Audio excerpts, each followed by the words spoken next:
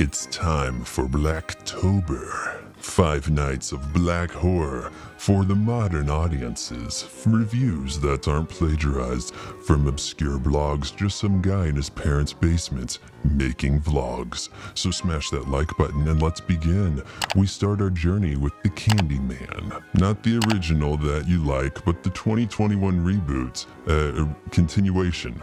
Yeah, that's right. Candyman from 2021 is the most racist movie I have seen since 1915's The Birth of a Nation. All right, just up front here, this is a conflicting movie to review. There is a story buried under 90 minute browbeating of white man bad, which is actually maybe 90% brilliant. Like, there is a core story that this movie surprised me with. I was expecting a reboot. It's not a reboot, it's a sequel to the original 1992 Candyman. And it does an incredibly good job of weaving in those story elements, mixing it with urban legend and mythology in a setting that is updated. And I will give this praise to Jordan Peele, while understanding that the finished product is the responsibility of contributing writer and director Nia DaCosta. Without getting too deep into the spoilers for this one, we're continuing the intriguing urban legend of Candyman, a vengeful spirit who can be summoned if you say his name into a mirror five times, with his primary haunt being a Chicago housing project. Nice flourishes in storytelling. I appreciate rather than vague flashbacks, we have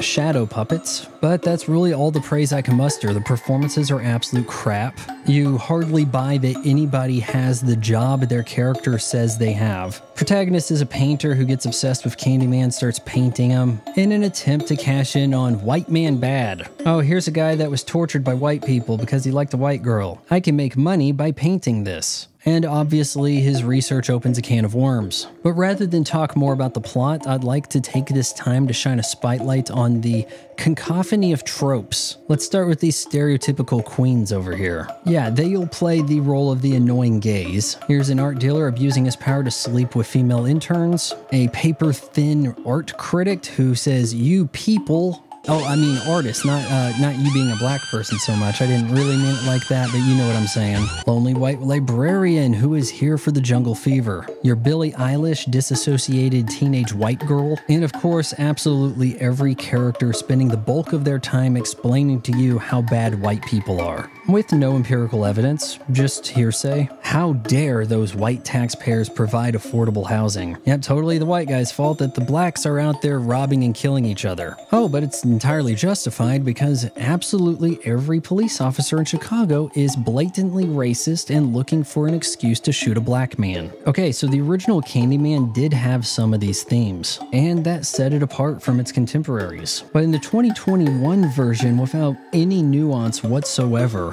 the tired preachiness is unbearable, making it easy to conclude that Nia DaCosta is racist, and benefiting greatly from affirmative action. Somehow grossing 74 million on a 25 million dollar budget gets you the next big MCU film, which will surely be heavy-handed with social commentary alienating audiences. Because entertainment and airtight scripts, that's for evil white men. Still don't understand the rules to Candyman. You look in the mirror, say his name five times, and that summons him to kill you, so then who knows that works because they would have died. And besides, sometimes you can say his name and that summons him to kill other people for you, I give Candyman 2021 one and a half out of four stars.